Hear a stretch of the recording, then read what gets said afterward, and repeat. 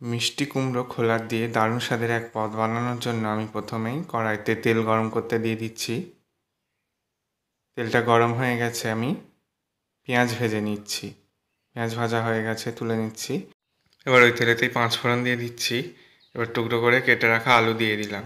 আলুগুলো ভাজা হয়ে যেতে আমি টুকরো করে কুমড়ো খোসা কেটে রেখেছিলাম, সেটাকে দিয়ে ভালো করে ভেজে নিচ্ছি। ভাজা হয়ে গেছে। এবার মিক্সার ধোয়ার জলটাকে দিয়ে দিচ্ছি। হাফ টিস্পুন হলুদ গুঁড়ো, ওয়ান টিস্পুন লঙ্কা গুঁড়ো, স্বাদ মতো লবণ দিয়ে দিয়েছি। এবার আগে থাকতে ভেজে রাখা পেঁয়াজটা দিয়ে দিচ্ছি। আলুগুলো সিদ্ধ হয়ে গেছে। এবার আমি বেটে রাখা পোস্তটা দিয়ে দিলাম। এটাকে পাঁচ মিনিট মতো রান্না করে নিয়ে এর মধ্যে চিনি দিয়ে দিচ্ছি।